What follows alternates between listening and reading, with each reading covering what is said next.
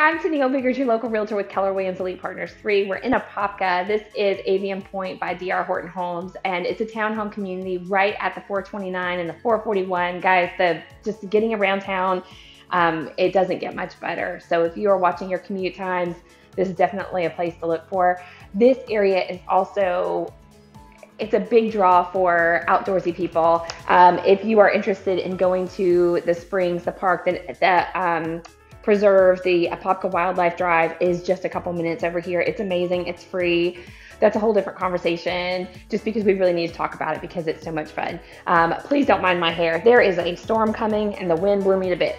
Uh, so let's talk about this community. There are two different floor plans and there's going to be the end unit, there's going to be the interior unit, depends on if you need a little bit more space, which would be the end unit. They're all three bedrooms, two and a half bath, uh, one car garages um, smart homes. They have vinyl plank flooring. So we're going to walk both through both through the Sandhill and the Ibis.